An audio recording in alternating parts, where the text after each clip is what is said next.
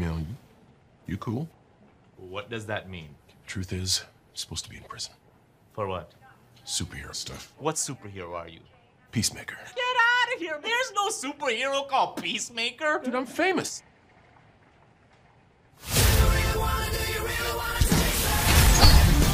You're a born killer with expertise in every weapon known to humankind.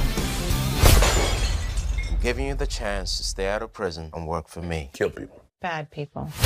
This is Harcourt. Your handler in the field.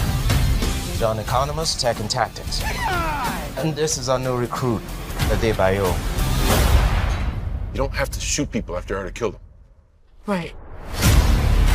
Who's the guy that's peeking out behind the trash can? Vigilantes, trying to be helpful. Our first target is Senator Royland Goff. Goff may be traveling with his family. Are you sure those two kids came out of those parents? That's an attractive couple, and that one looks like it came out of them, but the other one looks like a butt baby. A butt baby. Yeah, my older brother told me there's two types of babies. One that comes out normal, and then butt babies. Worse in every way, they come out of a woman's butt. No, I believed I was a butt baby until I was like 14. That explains a lot. There's something about him that's sad. Hey, Dad. How did my sperm go into a Nancy boy like you? You know, lately I'm just thinking maniac. That's because we're born killers. What separates us from other killers is we only kill bad people. Usually. Unless there's a mistake. You use being a jerk as a way to push people away. you suck at PowerPoint! But if you would just drop that, people actually might like you.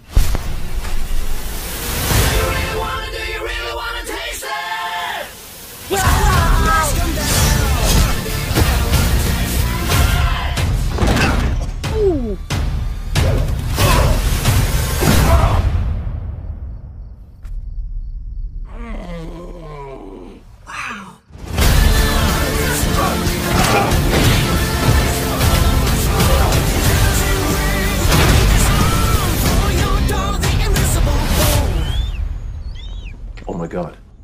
He's, he's hugging me. He's hugging me. Dad, grab my phone. I don't want to move.